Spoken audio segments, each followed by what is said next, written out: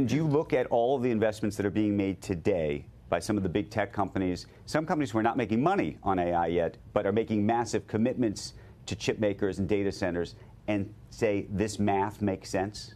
Um, the AI is the biggest technical thing ever in my lifetime. I mean, it is so profound, and therefore its influence is hard to overstate.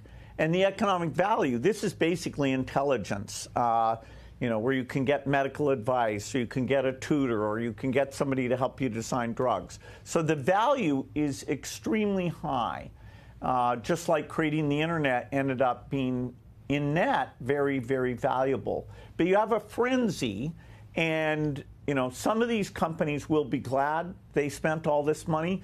Some of them, you know, they'll commit to data centers that, whose electricity is, too expensive, you know, right. that it could be done overseas, or they'll buy a generation of chips and, and you know, they won't have captured all their value before the next uh, one comes along. But, you know, if you want to be a tech company, you don't get to say, no, uh, you know, let's check out of but this what race. You, what do you think the public appetite for this is ultimately going to be? And I, I ask because I think there's concerns about two things that are happening right now. One is energy costs.